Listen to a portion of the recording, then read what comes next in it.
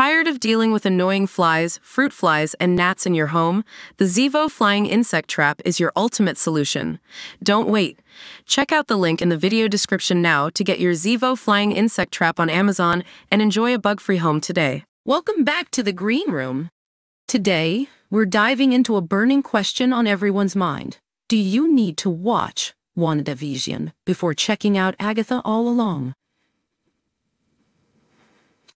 Let's break it down. The title itself, Agatha All Along, is a huge clue.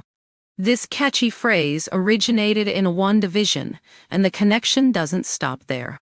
The eagerly anticipated spin off picks up where WandaVision left off, exploring Agatha Harkness's post Westview life. If you recall, Agatha, portrayed by the talented Kathryn Hahn, was revealed to be more than just a nosy neighbor. She was a dark sorceress manipulating events from behind the scenes. With her true nature exposed at the end of WandaVision, her journey in Agatha all along promises to dive deeper into her complex character. The first couple of episodes already streaming on Disney showcase several callbacks to WandaVision. The new series unfolds through Agatha's eyes, allowing us to revisit the town of Westview from a fresh perspective.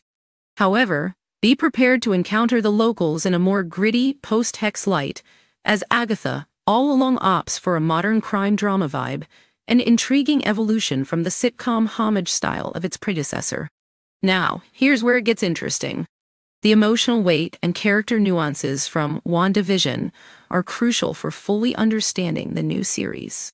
Key references like the character names in the opening credits or the iconic Hey Neighbor line, serve as a reminder of the events that transpired in Westview.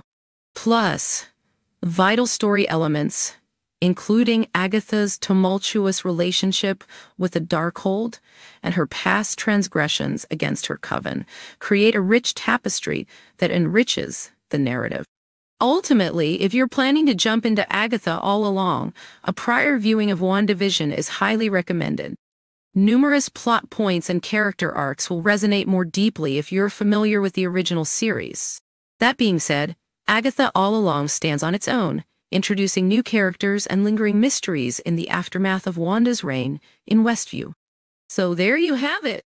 If you're eager to enjoy the wild ride that Agatha All Along promises, Make sure you're caught up on WandaVision. Trust us, you won't want to miss out on any of the magic. Thanks for watching!